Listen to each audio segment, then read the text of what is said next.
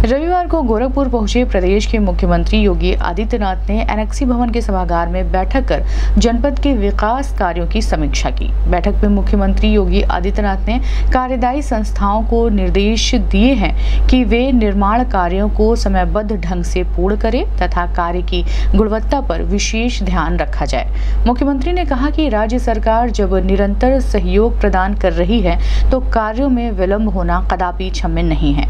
विकास योजना योजना का लाभ जनता को मिलना चाहिए। उन्होंने कहा कि यदि कार्य मानक के विपरीत पाया जाता है तो संबंधित के विरुद्ध कठोरतम कार्रवाई भी सुनिश्चित की जाए। बैठक में मुख्यमंत्री योगी आदित्यनाथ ने निर्देश दिए कि एम्स के शत प्रतिशत निर्माण कार्यों को मैन पावर बढ़ाकर प्रत्येक दशा में अक्टूबर माह में पूरा कर लिया जाए। उन्होंने बताया कि प्रधानमंत्री द्वारा 18 अक्टूबर को इसका लोकार्पण भी संभावित है।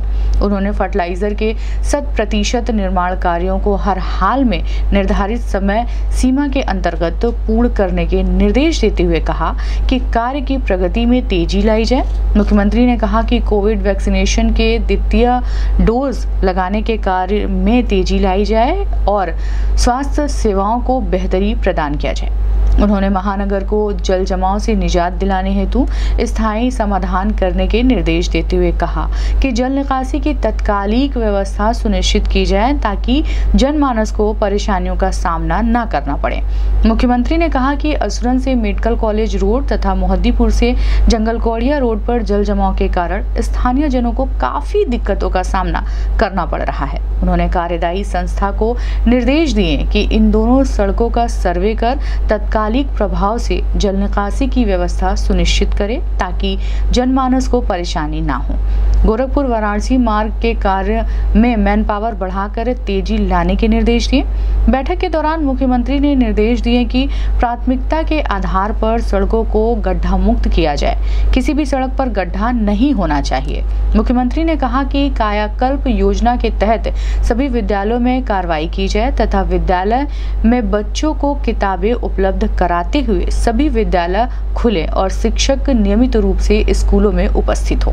उन्होंने सैनिक स्कूल के निर्माण कार्य में प्रगति लाने के निर्देश दिए। मुख्यमंत्री ने सभी कार्यदायी संस्थाओं को निर्देश दिए कि लंबित निर्माण कार्यों को समय सीमा के अंतर्गत पूर्ण करें।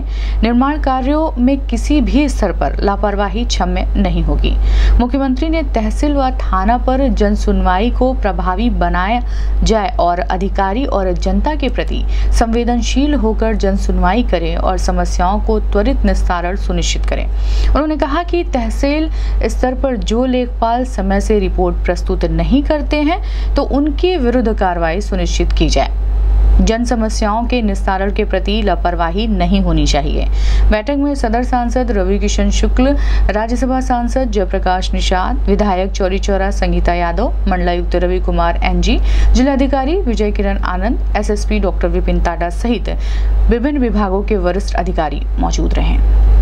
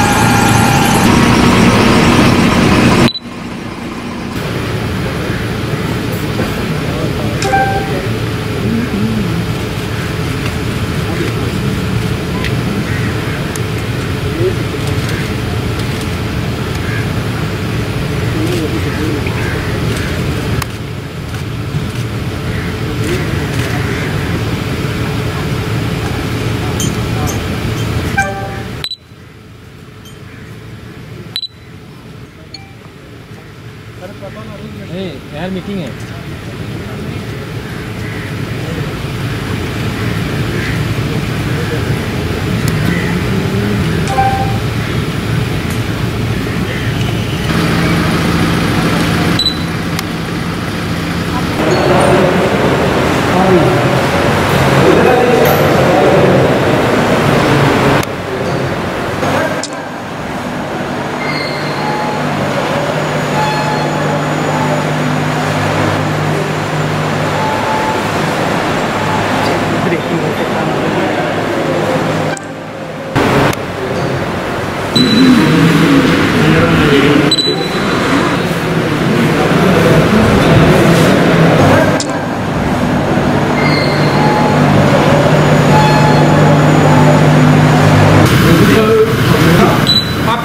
हम पीड़ित की गिनती में आते हैं।